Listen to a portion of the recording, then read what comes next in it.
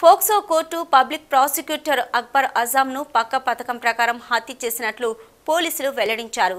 ప్రియుడితో కలిసి భర్తను హత్య చేశారు. అయితే సెల్ ఫోన్ ఆధారంగా నిందితులు దొరికిపోయారు. దీంతో భర్తను హత్య చేసిన భార్యను రిమాండ్కు తరలించారు. ఆజాద్ హత్య కేసులో కీలకంగా ఉన్న మరో ఇద్దరు నిందితులు పరారీలో ఉన్నట్లు ఏడీసీఎల్ ఎస్పీ కె శ్రీనివాస్ తెలిపారు. వాంటన్ పోలీస్ స్టేషన్లో జరిగిన విలేకరుల సమావేశంలో additional SP Srinivas one town CI Rajani Kumar వివరాలను వెల్లడించారు.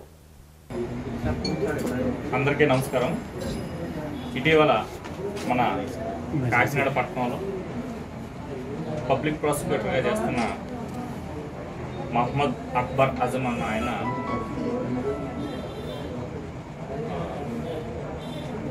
రీసెంట్గా చనిపోవడం జరిగింది. మొన్న పదిహేడవ తారీఖులో అప్పట్లో జరిగినప్పుడు అందరం కూడా హార్ట్ అటాక్తో చనిపోయారు అనే అనుకోవడంతో మామూలుగా ఆయన ఖననం చేసి బాడీని ఖననం చేయడం జరిగింది. సబ్సిక్వెంట్గా ఆయన యొక్క ఫాదర్ ఇంతకుముందు ఆ అక్బర్ ఆజం గారి భార్య వాడిన ఫోన్ నెంబర్ని ఫోన్ని ఆయన దగ్గర ఉండడం. ఆ ఫోన్ని ఈయన పరిశీలించినప్పుడు కొన్ని మెసేజెస్ ఇవి ఆయన చూసి అదేవిధంగా బాడీ మీద కూడా అప్పట్లో కొన్ని చిన్న చిన్న గాయాలు ఉన్నా కూడా దానికి ఆయనకి సరైన సమాధానం అప్పట్లో దొరకకపోవడంతో రీసెంట్గా మనకి పోలీస్ స్టేషన్కి ఆయన మృతి మీద డౌట్స్ ఎక్స్ప్రెస్ చేస్తూ మన పోలీస్ స్టేషన్లో ఒక కంప్లైంట్ ఇస్తే దీని మీద మొన్న పదిహేడో తారీఖుని వన్ సెవెంటీ ఫోర్ సస్పీషియస్ డెత్గా కేసు రిజిస్టర్ చేసి మొన్న ఇరవయో తారీఖుని మనం ఎగ్జామినేషన్ బాడీ ఎగ్జామినేషన్ చేసి బాడీకి పోస్ట్ మార్టం చేయడం జరిగింది.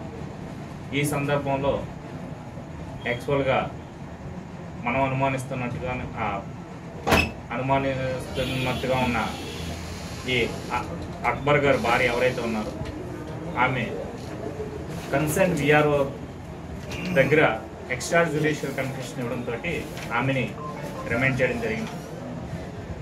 ఈరోజు రిమైండ్ అయింది. ఇందులో ఇంకా ఆమెతో పాటు సహముద్దాయిలుగా ఇప్పటివరకు తేలిన మిగతా ఇద్దరిని కూడా త్వరలోనే పట్టుకొని రిమైండ్ చేయడం జరుగుతుంది. ఆయనకి క్లోరోఫామ్ మందు రక్తు జీపు మొత్తం ఇచ్చి చంపడం జరిగింది. ఇప్పుడు అంటే ఆమె ఇచ్చిన ఎక్స్ట్రా జ్యుడిషియల్ కన్ఫెషన్ మన దగ్గర ఉంది ఇప్పుడు. మనం ఎగ్జామినేషన్ చేయించాం కాబట్టి దాంట్లో వచ్చే రిజల్ట్స్ ఇంకా మనం అది పదిహేడో తారీఖు ముందు రోజు జరిగింది అనేసి ఆమె చెప్పింది. పదిహేడు ఆరు. పదిహేడు ఇరవై మూడు ఆరు. అతన్ని అతన్ని ఎందుకంత ఏం చెప్పిందన్న ఎందుకు చంపొద్దు? ఆమెకి కొన్ని అనుమానాలు ఉన్నాయి. అవి ఆయన ఏమన్నా ఆమె ఏమైనా చేస్తారన్న ఉద్దేశం ఆమె ముందుగానే తెలుసు. ఇంకా ఇద్దరిని చేయవలసింది చేస్తాను.